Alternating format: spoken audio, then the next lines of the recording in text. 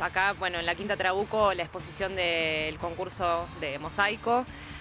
Una vez que se desmonta esta muestra, a mediados de febrero, viene otra exposición de Matías Montero La Casa, que es una exposición de dibujos, es una retrospectiva, donde incluye también una clase dictada por él de dibujo a lápiz y mano alzada.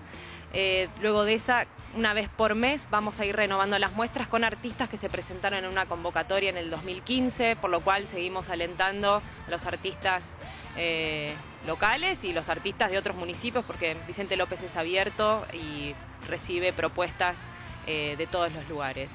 Otro lugar donde también tenemos programación de muestras es en la Delegación Florida, que queda en Vergara y Juan B. Justo, frente a la estación.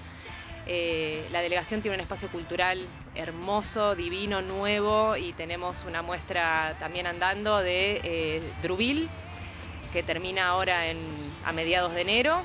Y empieza la muestra Imagen Teleo, que es una muestra itinerante que surgió de la segunda edición de la Feria del Libro que se hace en Vicente López.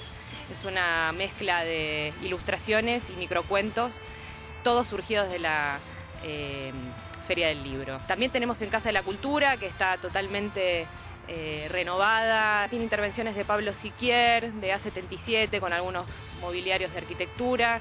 Eh, hay más que nada ahí exposiciones de arte contemporáneo.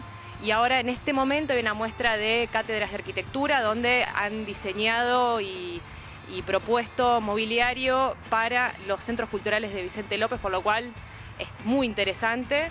Y en el fondo, en el patio, que también está hermoso, está intervenido por Gabriela Bertiller, David Petroni. Eh, es un espacio que también está abierto al público y también ahí hacemos proyecciones de películas, limonadas, talleres. O sea, por donde vayas en los centros culturales hay algo para hacer y para ver. Así que los invito a todos a que no se queden en casa y vengan a ver arte.